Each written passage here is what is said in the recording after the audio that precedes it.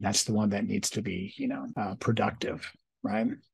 I think that we do our best work as as therapists. So this is a large project. I am here to help you, and I'm not the only one here to help you. You know, you're going to find characters in books and characters in movies and and musicians and poetry and and various things out there in the world that are going to help you, that are going to be your secret weapons.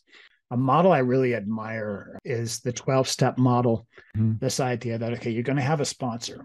Your sponsor, yeah, you can call them when you're in a jam. They're, they're, they're kind of part mentor, they're kind of part coach. They recognize the limitations. They're not a therapist, but they've been there. Most importantly, they've been there. They have some sober time. So they know how you're going to get through this. They know how they got through this. And they know they can, it's possible to get through it.